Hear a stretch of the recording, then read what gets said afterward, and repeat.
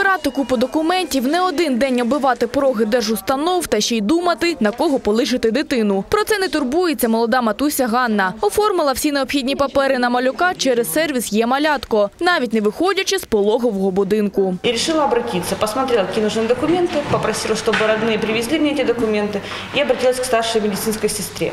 Она мне все документы взяла, э, проверила все данные полностью, и м, после обеда, может быть, даже в тот же день, когда я обратилась к ней, она мне уже принесла готовые свидетельства о рождении. Свідоцтво про народження дитини, паспорти батька та матері, свідоцтво про шлюб, ідентифікаційний номер та прописка. Такі документи потрібні батькам, якщо вони хочуть скористатися послугою. У допомогу їм лікарі, які швидко оформлять все через застосунок «Дія». Я заходжу е, в послугу є малятко, і в мене вже відкривається вісім кроків. Покроково я все заповнюю. Текст, який я читаю батькам про послуги, якими вони можуть скористуватись.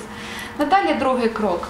Е, Тут просто е, я відповідаю на запитання, які мені висвітлюються.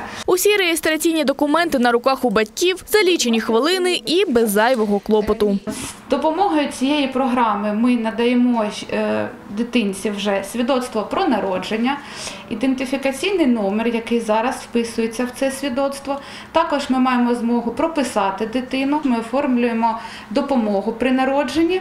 Задля цього жінці потрібно мати соціальну картку. На Дніпропетровщині вже майже 700 родин оформили допомогу при народженні дитини через сервіс «Є-малятко». Однак, подаючи документи, треба не наробити помилок. Тому батькам радимо уважно перевіряти інформацію е, після заповнення заяви є малятко, адже відповідальність за достовірність даних несуть саме батьки. Якщо до заяви будуть внесені некоректні дані, то відповідальні органи влади можуть відмовити у наданні комплексної послуги. Дніпро – 11 місто в Україні, де працює сервіс «Є-малятко». Він доступний в усіх пологових будинках та двох ЦНАПах міста. Дар'я Пшенична, Денис Крикус, Open News, телеканал «Відкритий».